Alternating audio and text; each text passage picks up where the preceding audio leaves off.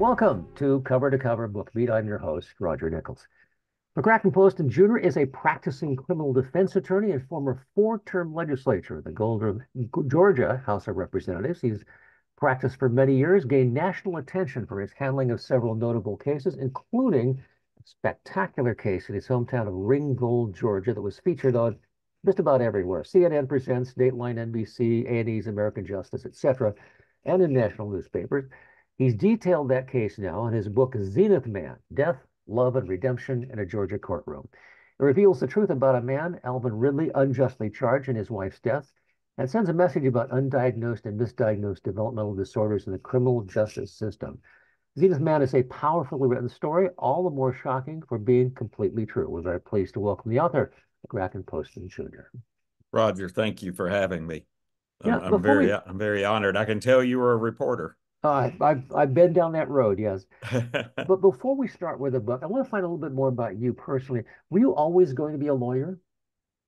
No, I don't think so. I was the uh, the last of six kids. Um, I had a buddy in um, uh, junior high and high school that he and I were thick as thieves, and uh, uh his idea about law school was one that I just followed, you know, followed closely and uh, we actually ended up going to the same college and law school together. And uh, sadly, he passed uh, a couple of years ago of a, a rare cancer, and uh, so I, I, mentioned him in the book and the acknowledgments as well. I, I appreciate that. And you also had some experience working for a congressman as an intern. I did. Uh, uh, George Buddy Darden, who at the time represented Northwest Georgia in Congress and I was actually in law school, but uh, went up and stayed in Washington for a long summer. And really, uh, if the bug had bitten me, it was now fully infected. well, it, it, apparently worked because you got elected four times. So. Well, it worked. Uh, maybe I ought to write a book about uh, how to keep office in a changing landscape uh, because there were some very interesting uh, disqualifications that happened, but the, the area was uh, was changing. Um, I just didn't feel uh, that I could change, even though I was a Southern Democrat.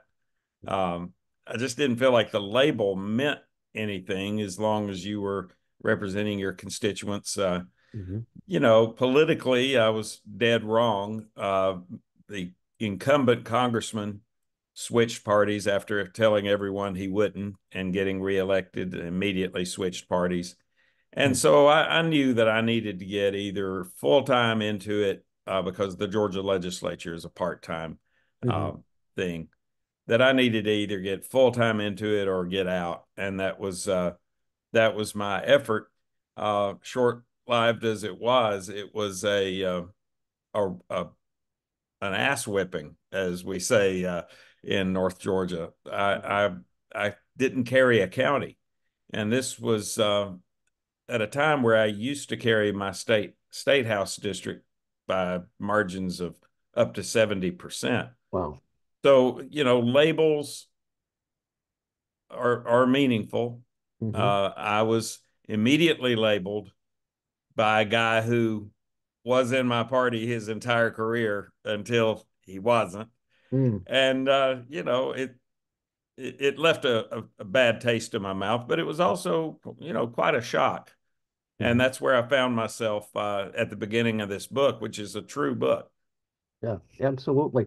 Now, the events that took place 27 years previously, why, what was the impetus that made you become an author?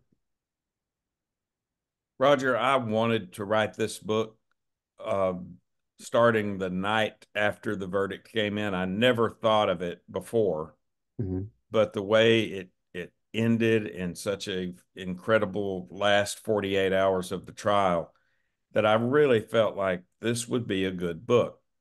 Uh, the poet Maya Angelou said, There is no greater agony than bearing an untold story inside you. And when I first read that several years ago, I got it it it it described exactly how I felt. But I was frustrated in the effort. Now, I gave the story away to anybody who would come by. Um, a great Atlanta reporter uh, was uh, picked up by the Washington Post, and they sent their own reporter down, did a front page Washington Post story in 1999 about the trial.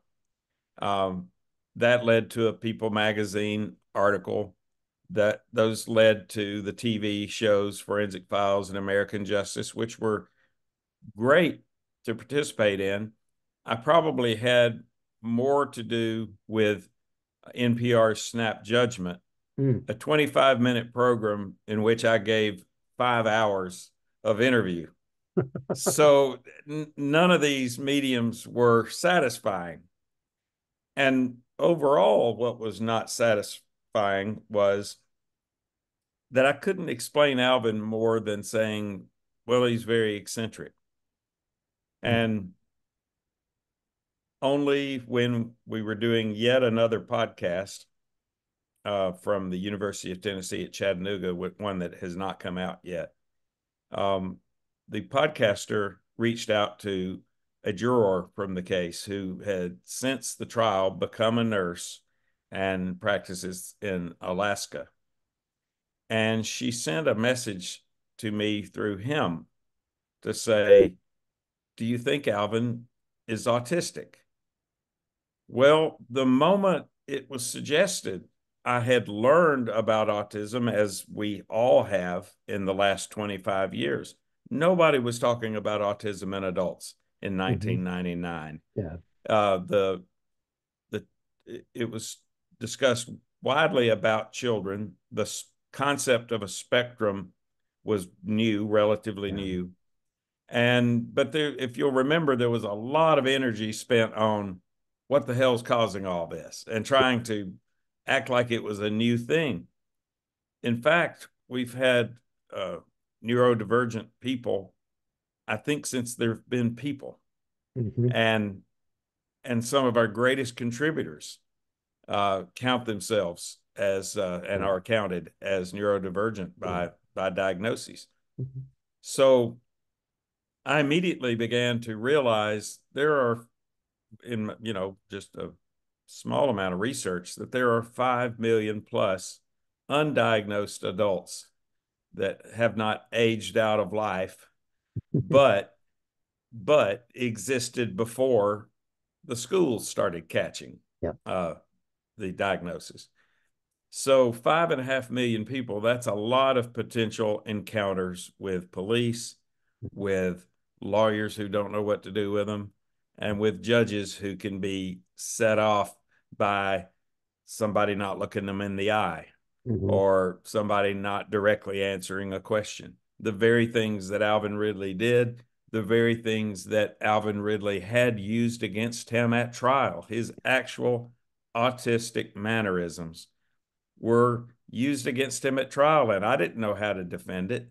I didn't know how to defend against a flat vocal affect that the 911 call was was uh, uh, filled with, or uh, the fact that they said his emotions were not meeting the moment, if you will. Mm-hmm. Uh, he does. He's not acting like a guy whose wife of so many years mm-hmm. just died. Of course, making things more difficult was the fact that nobody had seen Virginia Ridley in 27 years. And unfortunately, that information, along with the speculation of her surviving family, uh, was that Alvin was keeping her mm-hmm. and keeping her from them.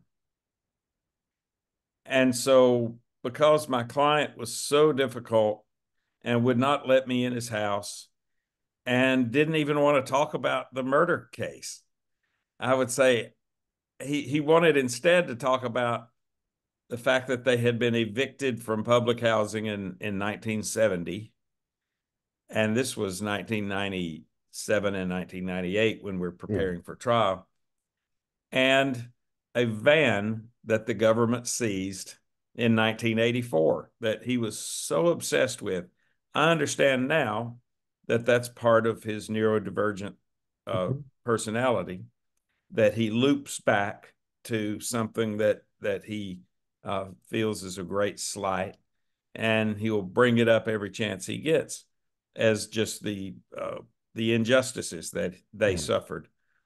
Well, I, I started because I, he made me.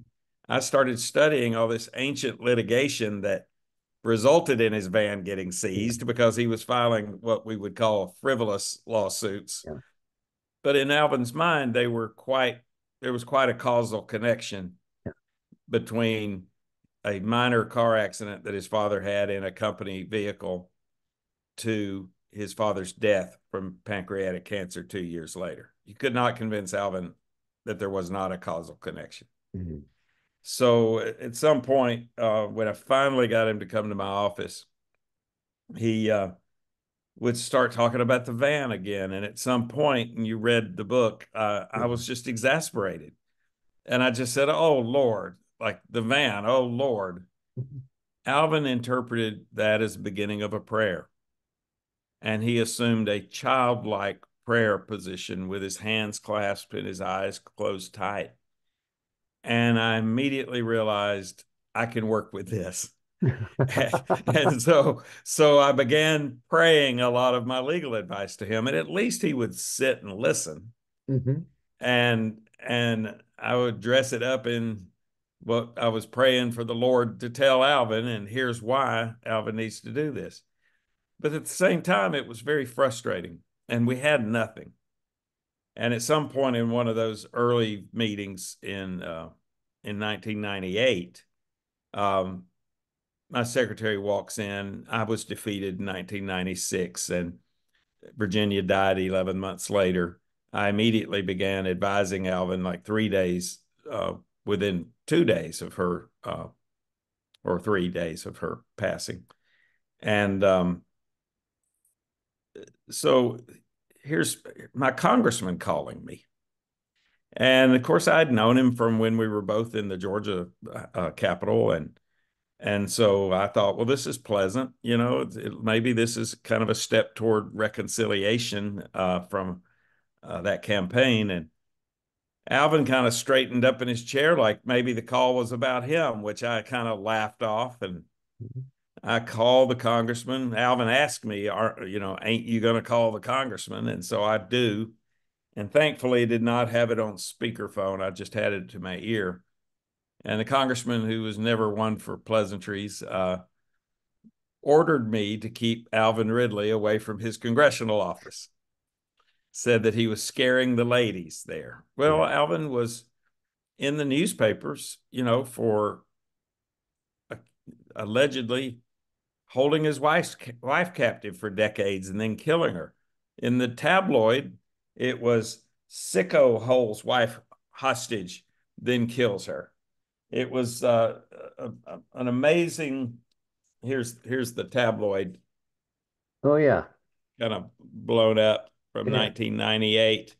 Wow. The the other bookend is an article her parents put in the local papers in 1968.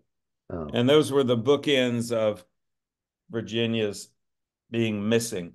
Uh, mm-hmm. Uh, Dolly Parton and Carl Dean slipped away to Ringgold, Georgia from Nashville to get married. We were the marriage capital of the South. We were near uh, three other states. It was a one stop shop to get married, blood test, license, uh, justice of the peace. Dolly and Carl Dean got married uh, at the Baptist church, though. The, they found a preacher in. And three weeks later, Alvin and Virginia wed at hmm. another Baptist church. Now, by the time George Jones and Tammy Wynette slipped down to Ringgold, Georgia to wed, Virginia was already missing. Yeah. And this was to her family. Those were the only people really looking for her.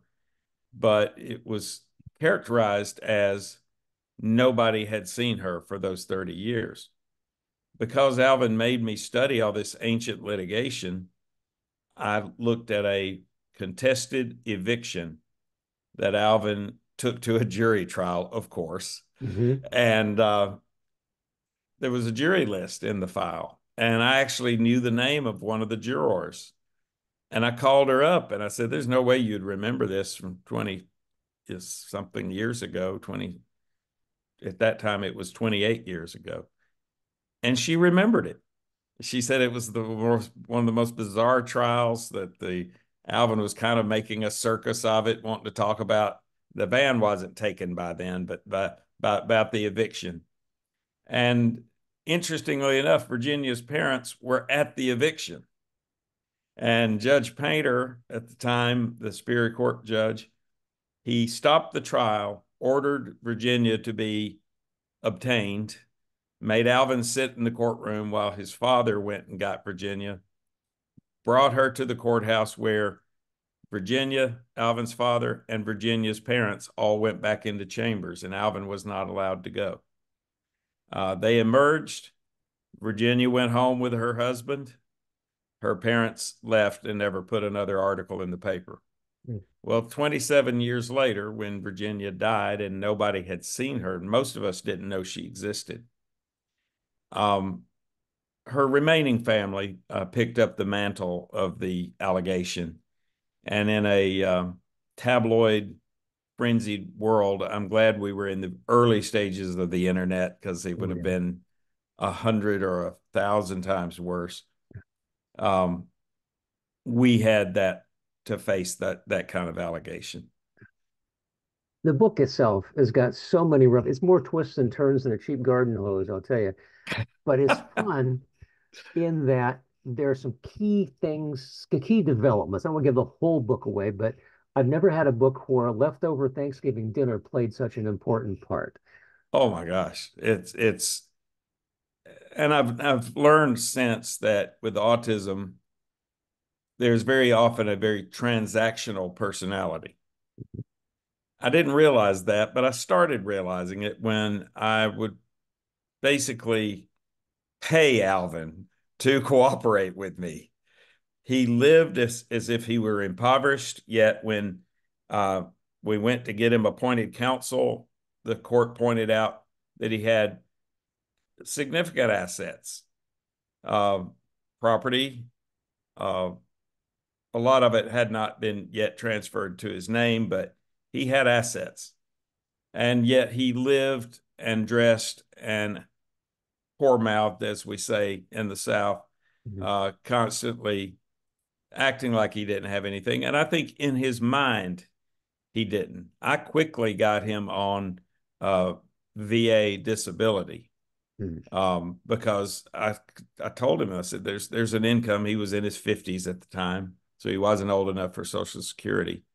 But I got him on VA disability. The the state psychologist had diagnosed him with a paranoid condition hmm. and somatization, which is a, a mental uh, illness where you imagine physical conditions and pains and you basically have them because you've brought them on in through your mind. Yeah. Hence the soft neck collar that Alvin insisted on wearing as the pressure mounted before this trial. He wore this ridiculous, huge, soft neck collar that uh, unfortunately uh, he forgot the first day of trial because I had to like coax him to come to court. And uh, and he insisted that there was a provision of the Constitution that said if you don't feel well, you could just get up and leave court at any time. It would come so, useful, yeah. I was, I was, I started having to carry a copy of the U.S. Constitution with me, the little paperback copies you can get at the mm-hmm. bookstore, and throwing it at him every time he would raise that, and I would say, "Find the article, and I will file the the motion." Well, to get back to the, I, I do want to get this one point out about the Thanksgiving leftovers and how how much that meant to the whole the whole case in itself. Well, uh, I, I had nothing uh, going into very close to the first scheduled trial, which would have been September of 1998. And a great gift happened when the DA served 45 new witnesses on me and I'm a solo practitioner. So I went to the court, and uh, Alvin wanted me to file an emotion, as he called them, an emotion for continuance. And I looked at the old civil litigation that Alvin maintained on his own, and he filed a lot of emotions. And uh, so I told the court, there's no way, as a private practitioner uh, at the time, without an investigator, uh, that I could go through all these state witnesses that just got served on me. So the court gave us a continuance. I was so relieved because I had nothing. Two big breaks happened. One, it's tragic, but the death of Olympic track star Florence Griffith Joyner in that month, that very month of September of 1998. Of course, you know, I just noticed that on the news because I had actually gone to the Atlanta Olympics in 1996. I saw her, but she was not competing. She was very beautiful, flamboyant woman with a lot of style. She just had a, a real following. And, um, but again, she was not competing, and I didn't know why at the time. Uh, by the next m- month, her autopsy uh, was at least spoken of in the news, and just happened to hear it on CNN headline news that she died of a seizure. Well, that was our theory for, about Virginia's death. Alvin said she he called her an epileptic, but uh, it was clear from her even childhood um, medical records that she had severe epilepsy, and obviously she was not treating it. And the question then became a, a suggestion from the state that Alvin deprived her of these medicines. So, but the state was insisting this was a asphyxiation, straight up killing. And um, so when I learned that, that she, uh, Flojo, the track star, Olympic star, had died from epilepsy, I was immediately on the phone with her uh, medical examiner and I obtained a copy of her autopsy. And it was extremely similar to the autopsy of Virginia Ridley that the state of Georgia was saying was murder. Mm-hmm. And so I thought that was definitely important. The second huge break, totally out of the blue, happened on Thanksgiving Day of 1998. My new wife, I had divorced in uh, 96, uh, remarried in 98 and uh, this was a, a, young woman from Ringgold, so she already came fully uh, uh, installed with all the local prejudices and biases about mm-hmm. Alvin Ridley. But I was kind of winning her over because I was telling her all the different interesting ways I found Alvin and and even found a, a, a kind of a kind and and caring person inside of him. So um, in any event, uh, we went to her parents' house and then we went to my parents' house in Graysville, Georgia.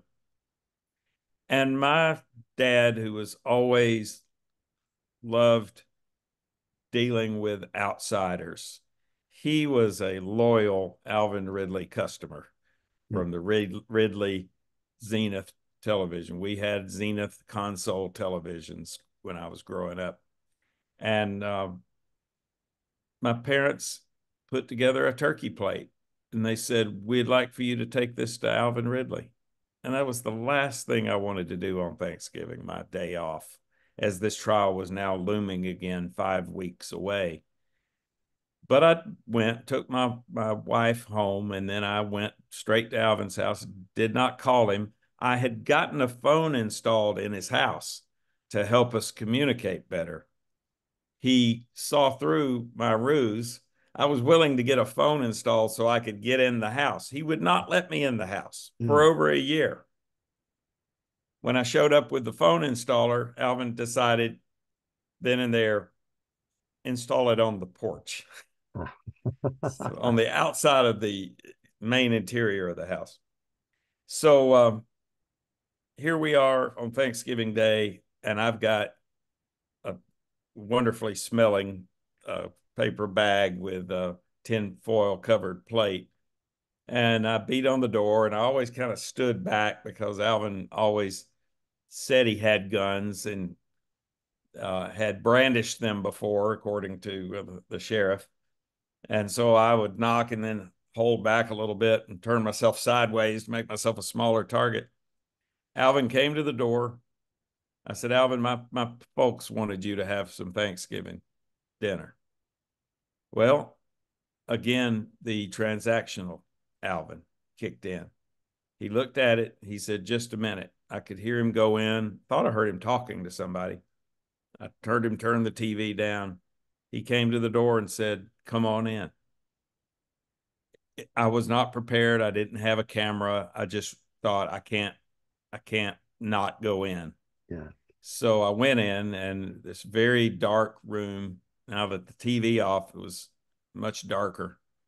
And um, he turned on, it was a tiny red, like Christmas, old Christmas light bulb about that big that was illuminating the room in this weird red glow. But there was a string and he pulled it and a regular naked light bulb uh, in a ceiling mount came on. Well, I recognized immediately Virginia's deathbed from the photos.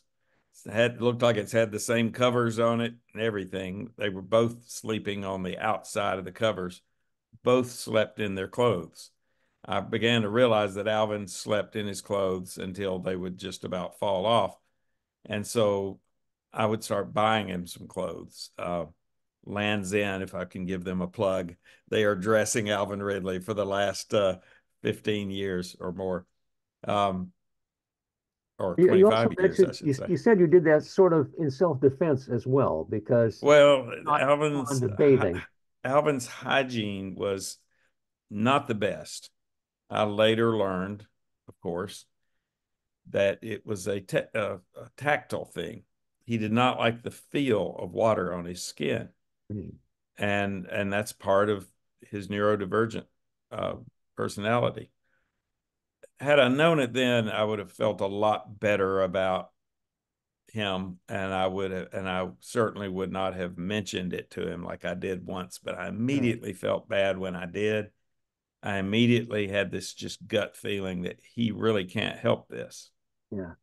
Um, and now, you know, I still feel bad about that. But I was, um, I was in this house and I, I see that on one whole wall, it's covered from floor to ceiling with paper, just different pieces of paper, tacked, taped, stapled, any way you could attach paper uh, to a wall, a panel wall. Uh, and then they, they seem to all bear the same handwriting. And it's a handwriting with a very interesting uh, lower extender, as I think the the trade of uh, of handwriting analysts uh, will say. This is one of the the writings. It's, there's an exhibit in the trial, as you can see the exhibit label. Yeah. I call this one the Rosetta Stone because it it explained so much in and of itself. It explained Virginia not liking to go out. It explained some of the problems they were having with her family. They were. It explained um, why they didn't hang out in the housing uh, unit, which ultimately they were evicted from because of a, an exterminator's advances on Virginia. Hmm. And instead of, you know, raising hell about it, Alvin and Virginia would just quietly leave the place every day before the exterminator would run, you know, and they had no idea when he was going to run, but they were just uh, very paranoid both. They were two peas in a pod.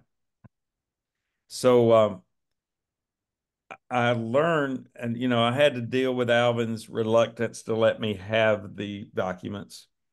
Uh, ultimately, again, transactional Alvin, I had to pay him two hundred dollars to just copy them, Uh, and then I knew if I could get them copied, I could serve them on the DA, and then I would worry about getting them to court later. Yeah. The compromise there was that Alvin would keep them uh, and maintain them. Well, I developed this elaborate filing system where I made myself a copy.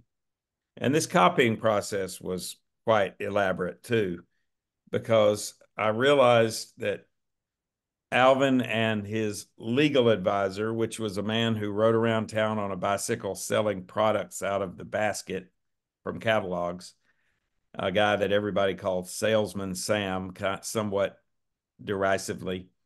Um, that Salesman Sam was giving him legal advice too, and it was often counter to mine and resulted in some some near misses, legal near misses. Um, but the the compromise was that Alvin would keep the originals in these old, you know, and then bring them to court. Well, he brought them to court in these old suitcases, but he would have at night at home opened up the old suitcases, uh, reshuffled what I had already kind of organized, but he would also let it was almost as if he opened it up and scores of cockroaches would just march into the suitcases only to march out into the courtroom because that's what was happening. They were, and I didn't realize the jurors were seeing them until uh, one of the jurors was interviewed on Forensic Files, and she's talking about the cockroaches coming out of the suitcases and how all the jurors were noticing it. Well, the Superior Court judge, whose office was right next to that courtroom, he noticed it and halfway through the trial, he said, Mr. Poston, we are uh, resuming the trial in the other building in the old courtroom. And because I have to get this room exterminated. And so, what was fascinating and eerie about that, Roger, we were moving into the courtroom, which was the last place Virginia Ridley had ever been seen in public, September 15, 1970 and it was eerie.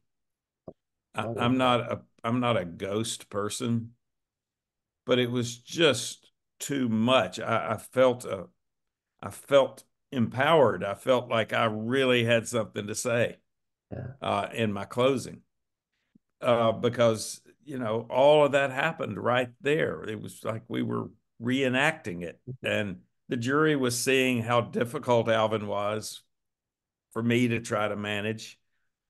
But they also saw me giving in to him. Uh, what they didn't see and what I didn't see was Jesus showing up during lunch and telling him he had to testify. We knew all along that Virginia had, had epilepsy. Mm-hmm. Uh, we had her childhood medical records. She had severe epilepsy. Uh, she also had occasions before she married Alvin where she would have horrific allergic reactions to the medication. Mm. So she would sometimes have to be hospitalized for the medication.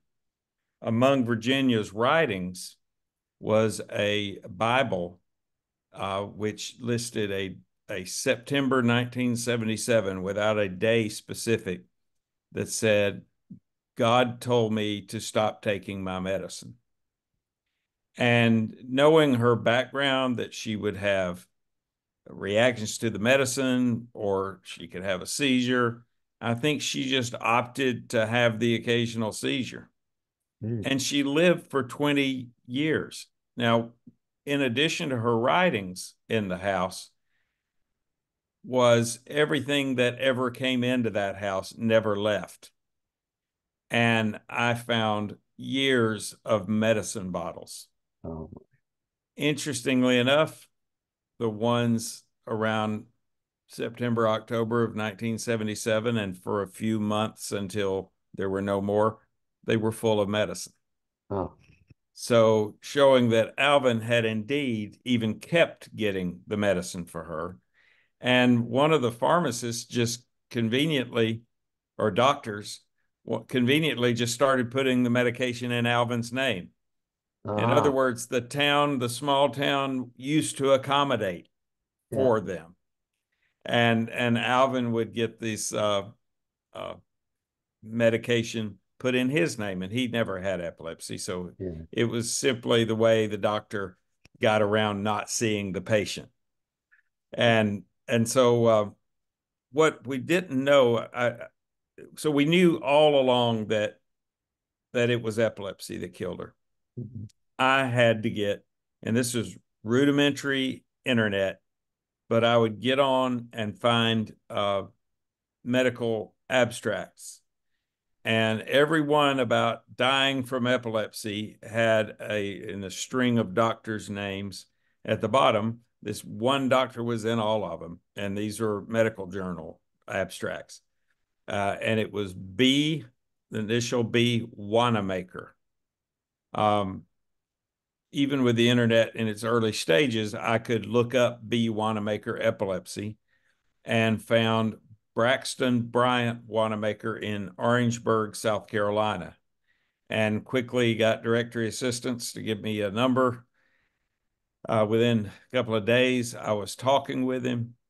Um, you know, I guess he sensed the urgency in my voice. I said, I don't know if you do this, but I really need uh, an expert about epilepsy and death and petechial hemorrhages because that's what the state of Georgia was basing it all on is these petechiae around Virginia's eyes and mouth and around Florence Griffith Joyner's eyes and mouth.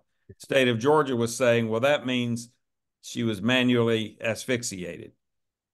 Every other medical book and Florence Griffith Joyner's autopsy were saying that's from a seizure.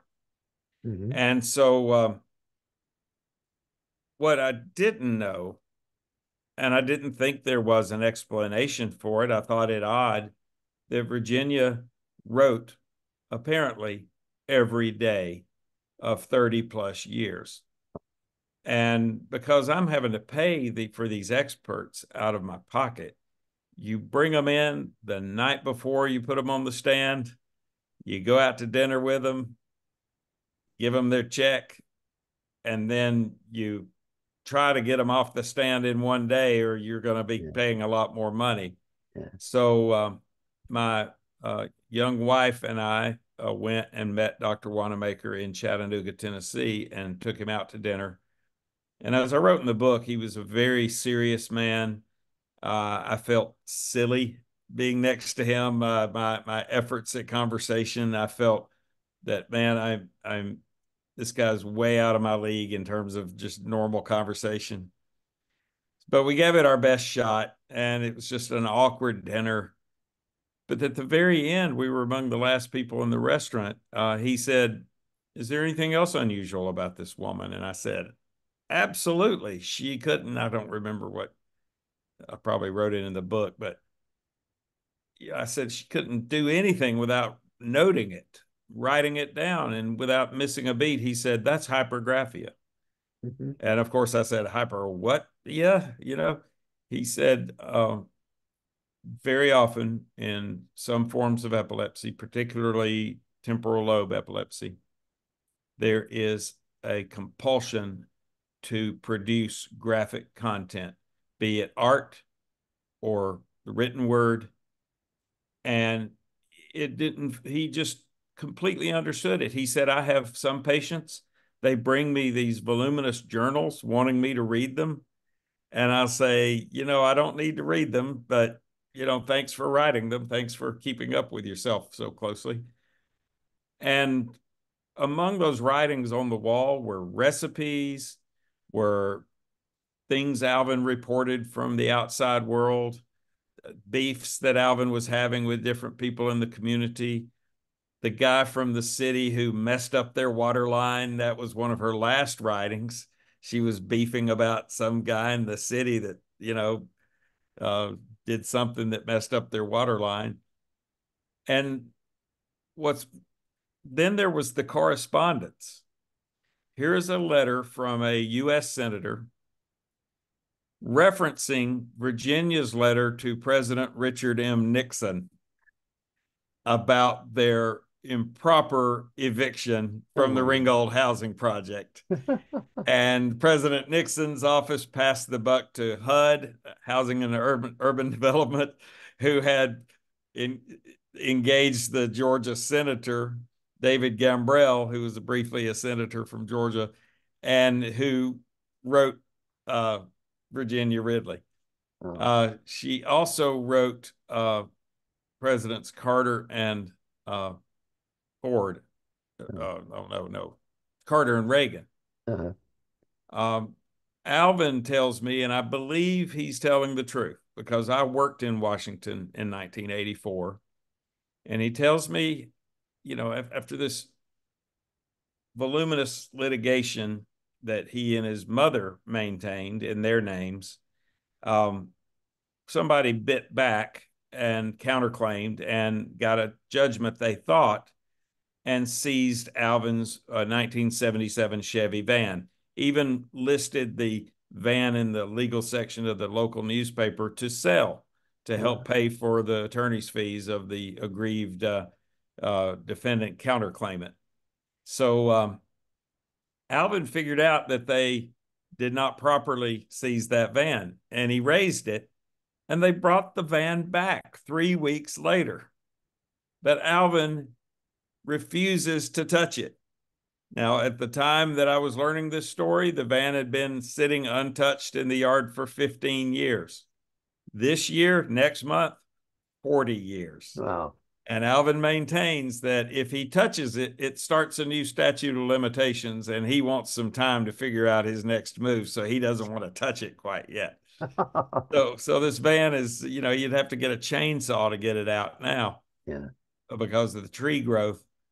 But what's what's fascinating about all of that was Virginia wrote to the producers of Unsolved Mysteries, the TV show.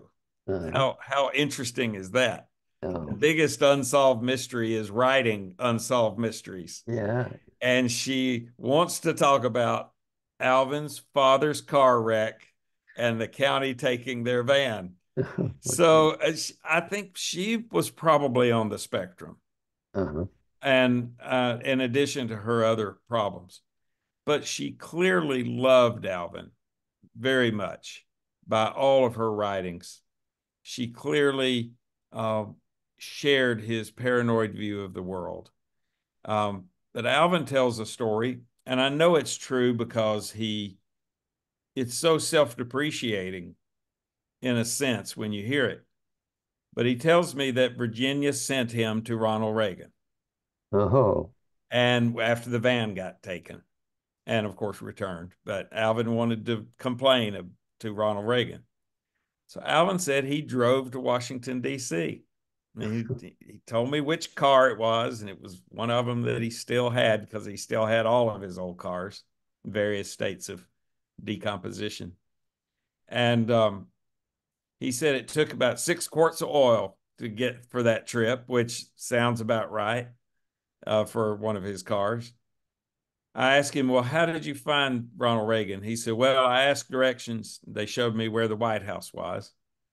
And then I had to find a parking place, which, you know, could have taken quite a while. But then he said, There's this gate. When you're looking at the White House, there's this gate on the left, it's wide open. And I went in and I said, And what happened, Alvin? And I could have told him what was going to happen. Yeah. He said, Some men with long guns yelled, Halt and they said, What is your business here? And he said, Catoosa County took my van, illegal seized my van. They said, Go home. and so Alvin tells this on himself. And I'm thinking that's about where that gate is, as I recall. And it always appeared to be open, as I recalled in the 80s when I worked mm. up there. But then I said, Well, what did you do then? He said, Well, I went to a payphone booth and I called Nancy Reagan. and I said, Really, Alvin, you talked to Nancy Reagan? And he goes, Yeah. And I said, Well, how do you know it was Nancy Reagan? And he looks at me like I'm an idiot. And he says, I called the White House. That's where they live. A woman answered. so the woman or Nancy Reagan yeah. asked what he what his business was and he said something to the effect of Catoosa County illegal seized my van. And I said, Well, what did Nancy Reagan tell you, Alvin? And he said, Go home. so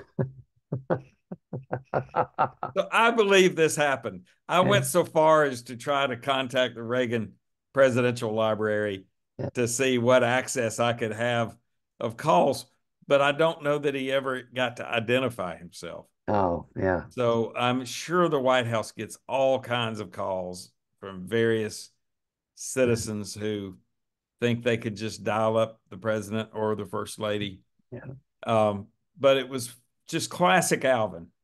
Yeah. So, um, but but hypergraphia was learned about hours before I put that expert witness yeah. on the stand, and suddenly now I could explain all those writings. Yeah. That were coming out of the Roachville suitcases, and I could explain them, and it, it was just like it supercharged our case, uh, just like Flojo's autopsy did. Yeah. And um, the real question then came down to I, I really felt that a jury would not cotton to a man when talking about his dear dead wife constantly shifting over and talking about a Chevy van. Yeah. So I had pretty much convinced Alvin that I don't think you should testify. You don't have to. It's your right to, but it's your right not to, and they can't make you. We had a disastrous Thursday morning on the full the full week of the trial. We actually started on a Thursday, but we the next Thursday uh, we were very close to ending. There was another, and I'm using air quotes here. I'm glad this is video. Yeah. Expert witness that Alvin wanted to hire. We found him on the internet. And Roger, this was back in the innocent days where I felt if somebody is on the internet, they've got to be valid and good. but I wanted Alvin uncharacteristically became engaged in his case whenever I talked about getting a forensic pathologist. Alvin would make me spell it every time I ever said it. So we found this guy in Georgia who quoted me a fee. I did not vet him very well. Um, he ended up being somewhat of a disaster, an unmitigated disaster.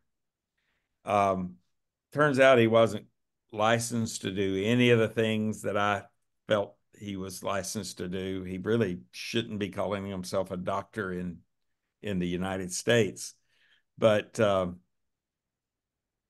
the DA was laying in wait. The state crime lab had been dealing with this guy for quite a while. This was their opportunity. I later learned that they uh, asked the DA to come down so that they could tell him about this guy and how, you know, he was saying things and presenting himself in certain ways that were not necessarily uh, legit. So that was a disaster. It all happened on a Thursday morning. And I was so mad at myself because it was really all on me. I did not vet this guy. I got so excited about Dr. Wannamaker and that aspect of the case. I really was just was keeping this guy around because he was a late hire just days before the trial. I felt like he could go describe the inside of the house because the state doctor didn't go the inside of the house. The state was making a big deal about how one side of the bed had an impression, the other side did not, that Alvin was, Virginia was not sleeping in the bed, but that he somehow moved her body to the bed after her death. And, um, you know, I wanted to show that this was a poor house it didn't have a nice sofa love seat set. Mm-hmm. If you were watching TV in this house, you were sitting on the side of the bed. If you wanted to watch TV straight up and not have your brain adjust it, you know, when you're laying down, you were sitting on that one side of the bed. Everyone was sitting on that one side of the bed. And so it was depressed on that one side of the bed only. And I wanted since we did have this doctor going in the house. Well, the problem is the doctor was as afraid of Alvin as anybody was. And I noticed that he was packing a weapon, and I was trying to signal that's not necessary. You know, you and Alvin was so uncharacteristically into the guy being there that we later learned that Alvin had created a non crime scene um, there was a woman in the newspaper during jury selection talking about Alvin years before driving around town with a a, a store window mannequin pretending that he had a girlfriend. Now, this was after high school. This was before he married. But they just throw that out there. Another weird thing that Alvin did. Well, Alvin tells me he was trying to make another woman jealous. Oh. And that's why he drove around with his mannequin girlfriend, you know, sitting awkwardly in the passenger seat. But the newspaper article reminded Alvin that he had a 1950s era mannequin in the basement. And so he decides to employ it on his non-crime scene. so uh, when uh, the, this expert and I took him and Alvin out to dinner at a Red Lobster, and Alvin was so excited. The guy spent less than two minutes in the house. He wanted to get out so badly. And Alvin sees that he has a gun, and Alvin starts brandishing a gun. I was the only unarmed person in this house. And so uh, it was just a disaster. And then the following morning was equally a disaster. And, you know, we all went to lunch. Alvin suddenly began to have a little following of a, the latest church that he had invaded uh, because Alvin church hopped and usually got uh, ran off for uh, soliciting for money uh, all the time. So there was a long, there was a lot of letters from churches asking Alvin, "You're welcome to come, but don't ask for any more money." And um, so uh, he had a little following, a little blonde family, a mother and a father and a couple of kids. And I said, "You know, Alvin, why don't you sit with your friends here?" Also, salesman Sam. I said, "Y'all just sit together. I'll buy everybody's lunch. I just need to think." Because we were getting down to ready to you know, rest. And during that lunch, Alvin told me Jesus appeared to him in a vision, telling them that he had to testify. I panicked, but I knew that was his right. I eh, only he could make that call. I had not prepped him. I got a few extra minutes. We went into the roach filled courtroom that had been exterminated, but I put Alvin on the stand and I grilled him and I showed him how if he put his good character into evidence, a lot of weird, crazy stuff that I had successfully kept out could come rolling back in. And Alvin was inspired. I mean, he, he was incredible on the stand he exhibited the emotion that the DA had been spending a whole trial showing that he had none for his wife.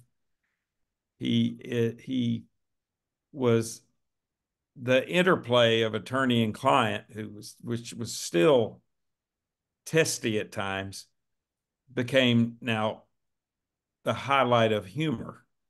Jurors were laughing at my what I was going through. I completely forgot how literal the guy was. And he was doing so well, I got ahead of myself and I said, You know, Alvin, you tell the jury what you've lost here? And I, I wanted him to say the obvious my best friend, the love of my life, the oh, my only friend. But instead, Alvin looks, thinks, and reaches for his glasses again out of his pocket and he goes, Oh, I guess I lost the funeral bill and of course, you know, the DA, I see the DA starting to write it down, and I thought, okay, we're going to hear that again. But there was another moment where I was so proud because Alvin had used other lawyers through the years, but he always ran them off and always, uh, uh, you know, just ended up representing himself. And I, I was kind of proud. And I was going through, I went through all his ancient litigation, which he wanted to go through. I, I, I asked him, Alvin, uh, matter of fact, I think I'm the first lawyer to stay with you from the beginning of a matter to the end, aren't I? And just this perfect comic timing. He said, so far.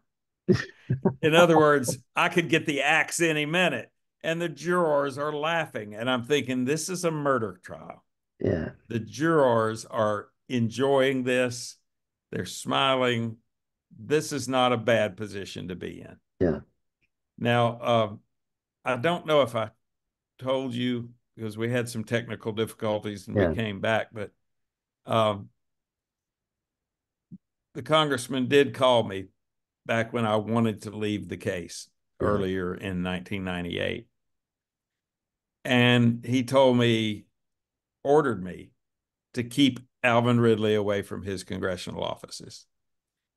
Roger, I got to tell you, you know, I was really thinking about walking away from that case because Alvin was so difficult.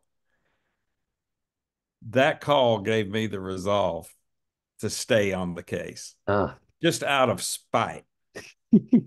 because what was happening was the, the congressman, and granted, he was man enough to call me himself, but by calling Alvin's lawyer, he's putting Alvin on notice. So the next time Alvin would go there, Alvin would be arrested for trespass because his Yeah. lawyer got notified that he was Yep. not to be there. So I had already learned by this time that Alvin, and I later learned, and Virginia, for every ounce of suspicion and distrust that they had for local government, they had correlating pounds of hope, tons of hope for what the federal government could do for them. Yeah. Hence the letters to the president, hence Alvin's escape uh, one day from the courtroom and ending up in federal court and getting detained by U.S. Marshals, only to tell his effort to tell the federal judge that I was not doing him any good. and uh, he says that was Salesman Sam's advice, by the way. Yeah. And uh, all that was going on, and it was it was just so so difficult a case. Um. So uh, uh, it, it just was such a hard client, which made the ultimate victory that much sweeter Mhm. because we did win. There was not guilty on all counts. And when we left that courthouse, I just off the cuff, because I hadn't prepared any remarks, I told the assembled press and public and uh, onlookers, I said, you know, I give you Alvin Ridley, a free man and an innocent man. And then I added, and a man ready to restore his reputation in this community. I knew how everybody had just rushed to judgment on him. Yeah. I also knew that he deserved a lot of the suspicion because of how he was interpreted, how we were interpreting him. And, um, but I could tell Alvin was struggling. He was really trying. And he and I had made a connection. We had been to battle together, we had been to war together. Yeah. And so for many, many years, we have maintained our friendship. And I have taken him to lunch uh, before his recent illness uh, twice a week. Uh, I'm going to go see here, him here in a little while. He's he's recovering from some uh, kidney disease issues, Mhm. um, and um, he, he's just a delightful person. He he he's different now in the sense that the community has warmed to him. Nothing like a book. Now, now, now, Nothing like a book to turn some hearts. and- and, uh, easy. and and it and and for that reason that is the best reason that this book exists. Because it has turned this whole community whole county's heart toward this man who is a lot softer now. He's a lot uh his voice is is a lot lighter higher pitched and softer. Yeah. and um, but with the knowledge now that we all have acquired about autism and neurodivergent uh, uh, people, everybody is more understanding. Now, Alvin will still give them the same cold stare if somebody comes up to us at lunch and speaks to us. But now they wink at me because they think, oh, I got the Alvin cold stare, you know, what used to be called the death stare. Uh, Yeah. you know, I got the Alvin death stare, and they wink at me like I'm in on the, I'm in on it. I understand, and it's really fantastic because uh, he'll make a comment after they leave, you know, like uh, I know where that guy could get a job. Well, where, Alvin? Radio. That's all he does is talk. You know. so I mean, he's he's spot on. Yeah. But uh, well, and I apologize about the beeping going on. There's some road work going on here. Uh, okay, but you know, it's it's good to have a happy ending. But I think I know the answer to this. But when people close the book after they finish reading Zenith Man, what do you hope they take away from it? Well, I think maybe every eccentric inspiration of classic Southern Gothic eccentric characters probably is a soul that is neurodivergent. And maybe we need to understand that and try to get services to them, but at least try to understand them better when we are trying to get them to understand us. Another thing that just kind of poured out in the book, Roger, and this was only when I started writing my manuscript. I was trying to remember a time that I took Alvin to my parents' house. I had totally repressed. Uh, one of my sisters said, Well, I've got our mother's journals. Well, none of us wanted to read our mother's journals because she was, you know, she was mad at us half the time. But uh, I decided I would look at that section of journal those several months in uh, late 1997 when I did take Alvin to, to my parents' house just because he liked them and they liked him. And they lived in another town. They didn't have the same little local prejudices and biases that the town of Ringgold did. But he was our TV guy. We had nothing but great feelings about him. Uh, and my sister had gone to school with him. So she kind of understood him a little better. So, uh, but I'm looking in my mother's journals for this, and then suddenly, and I'd obviously repressed this, an entire intervention that we did for my father and his alcoholism. I'd completely repressed that. And I remembered I talked to my my father was the first person that I told that I was advising Alvin Ridley, and this was months before he was actually charged. And my dad, when sober, gave me some insight on that. But it also made me remember that struggle that my father was doing and getting medication to try to curb his addiction to alcohol. And and I distinctly remembered him showing up at the trial. And you got to know, Roger, my dad never showed up at anything mm. that he wasn't drunk. Well, I mean, I was 39 and I couldn't remember a sporting event or anything that I'd ever done as a kid. And and usually that meant he didn't show up at all. He was a very hard worker, never missed a day of work. Yeah. But just after work, he he would hit the bottle and uh, Alvin was excited to see him at the trial, and I was horrified. Uh, and then I went back and realized he's sober. He's sober and he's locked in, and he came to the rest of the trial in the old courtroom after the roach uh, roach infestation of the first courtroom.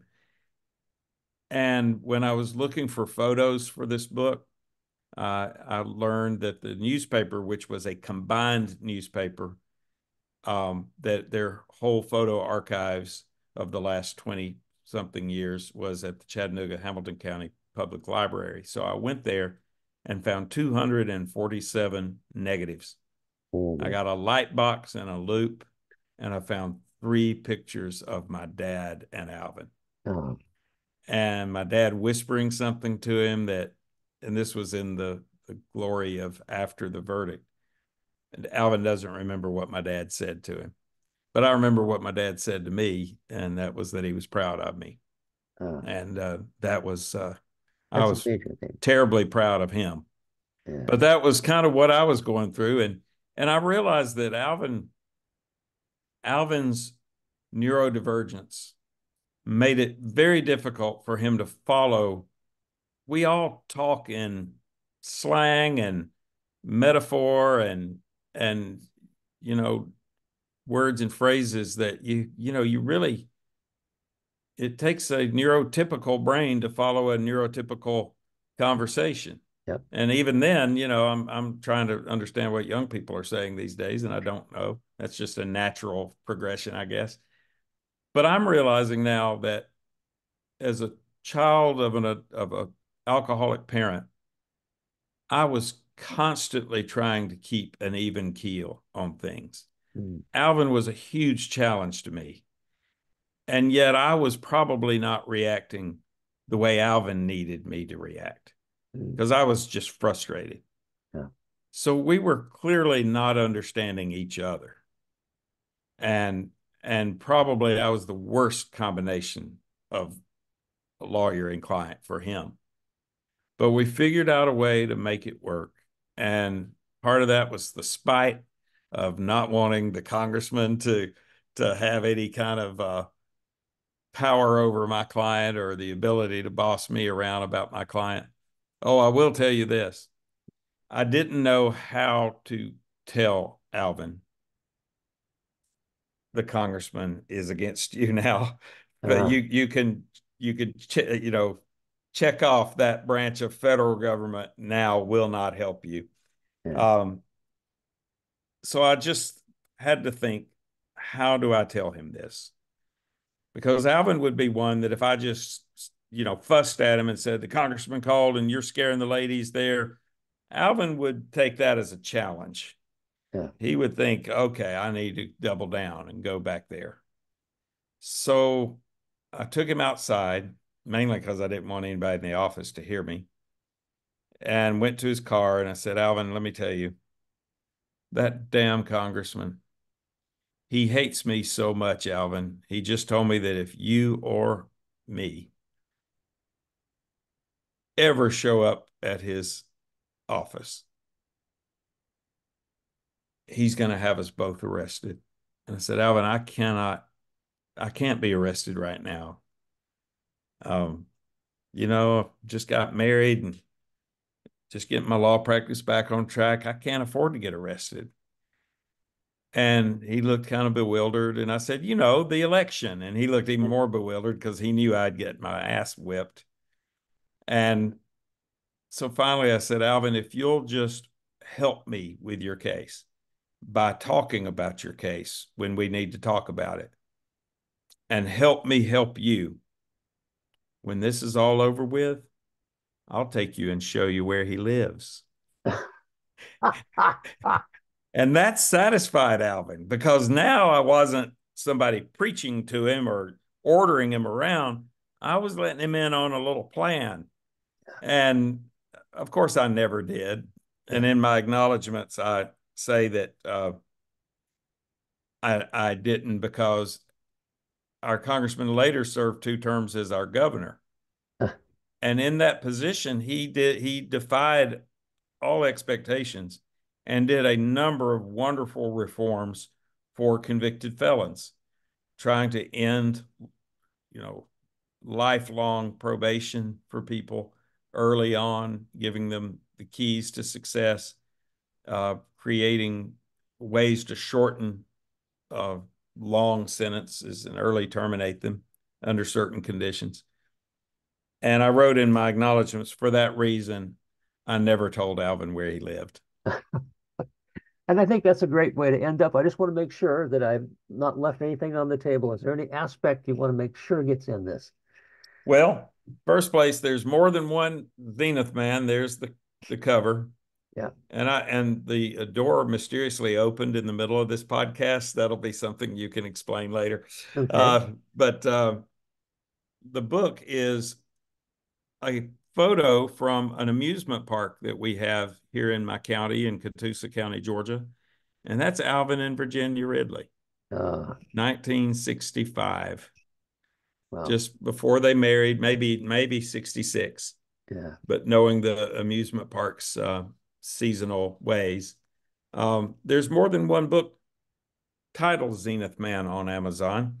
The other one is our story, fictionalized by a person who told didn't tell either one of us about it.